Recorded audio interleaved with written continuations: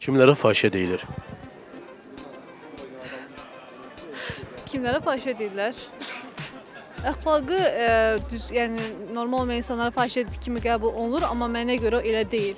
Təkcə fahişəli e, cinsi yəni belə deyim də istəkləri üçün özünü verənlərdən belə.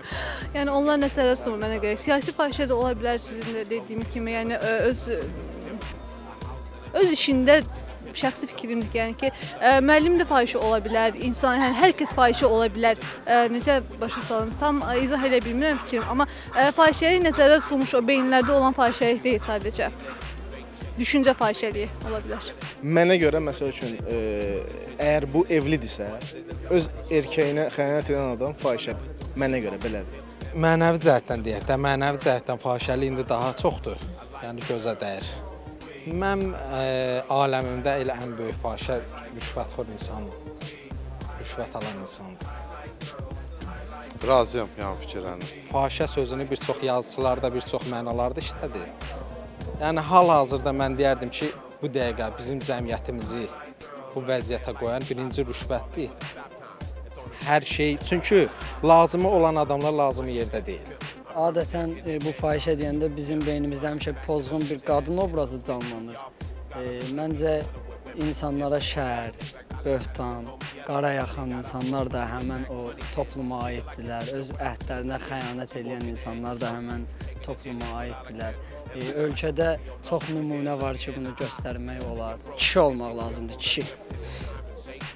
Məsələn, kimin kimi ölkədəki bir Hacbala demişkən. Yox, e, mən Hacıbala ölkəni düzəltsin qoy. Biz hər dəfə yağış yağanda əcəmin bu başından o başına gedən bilirəm, ayaqlarım su olur. Yəni biraz onlara nəzarət eləsin, kişilik məsələsini kişilər həll eləyərlər. Əslində bədəni satmaq o qədər də mühüm məsələ deyil. Əsas odur ki, ruhu satmayasan. Bizim ölkədə də çox təəssüf ki, əsas məsələ qalır qıraqda, ruhunu satanlar qalır qıraqda, düşmüşük e, qadın və e, bədəni satanların üstünə. E, məsələ budur ki, e, əsasən düşmək lazımdır ruhunu satanların üstünə. Bu günləri biz ruhunu satanların üstünə düşə bilsək, e, cəmiyyətdə fahişəlik də azalacaq. E, bir gənc e, heykəl yazır deyə ona 10 il iş vermək, e, yuxarıdan gələn sifarişlə işin kəsilməsi, bir gəncin həyatını məhv eləmək heç də bədənini satan fahişədən fərqli deyil.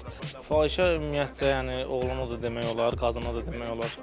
Çünki necə deyim, indiki insanlar yəni pula görə hər şeyi satırlar. Yəni pula görə dostunu satanlar var, pula görə yoldaşını satanlar var. Yəni mən fahişəyə bu cür adlandırıram. Mini yubka deyirlər ki, eynən qız fahişədir. Siz hardan bilə bilərsiniz ki, məsələn sizə deyil sualım. Yəni onu deyən oğlana deyirəm. Yəni sən hardan bilə bilərsən ki, bunun zövqü belədir, belə də geyinir. Baxır o qısanın tərzinə. Yəni çox qısadırsa o başqa məsələ. Yəni qısa geyinən qıza fahişə gözü ilə baxmaq olmaz. Hal-hazırda Azərbaycanda ümumiyyətlə cismi fahişəlik demək olar ki, dəbdən düşüb. Hal-hazırda ruhu fahişəlik dəbə minib. Ən bariz nümunəsi də hal-hazırda elə axırıncı vaxtlarda qiyas məsələsini deyərdim. Ə, Atları yəhərləyən kinofilmində xırda bir epizod var. Orada deyir ki, kişinin qoluna qandal gələ kişi vurur. Amma bu günlərim Azərbaycanda kişilərin qoluna qandalı nakişlər vurur. Elə belə desə ruhi fahişələr vurur. Söz satmağın özü də bir cür fahişəlikdir. Azərbaycanda bu günləri bizə ancaq vədlər verilir, söz satırlar. Yəni indiki hakimiyyətdən getirsə söhbət. Ə, 9 milyon, yəni əhali bu günləri adicə bu cəmiyyətin arasında sorğu apardığımız bu uşaqların heç birisi əgər iş tapıb heç bir yerdə işləyə bilmirsə, ancaq ölkədə ancaq söz verilirsə ki, ə, milyonlarla, minlərlə iş yeri açılır filan beş məkan.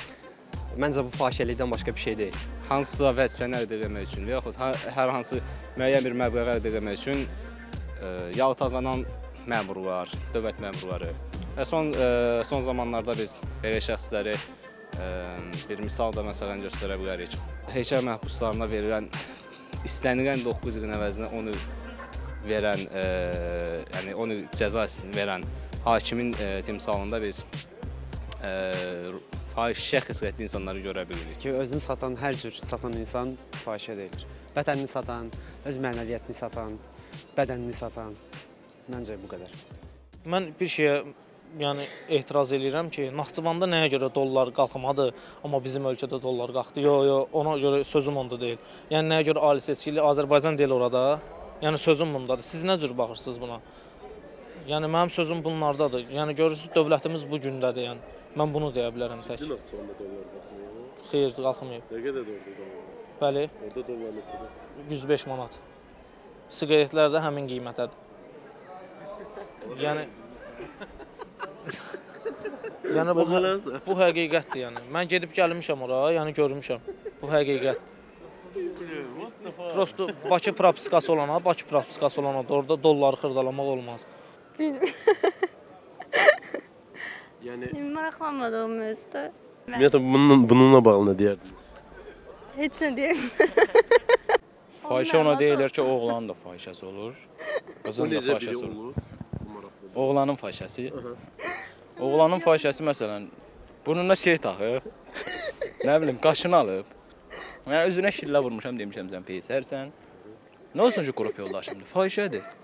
Başa düşürsüz, kişinin ulğumu var, qadında yoxdur. Nahaq yerə deməyiblər ki, kişi kişidir, qadın qadındır. Amma elə kişi var ki, məsələn, deyir, şəxsiyyət cinsiyyətlə ölçülən bir şey deyil.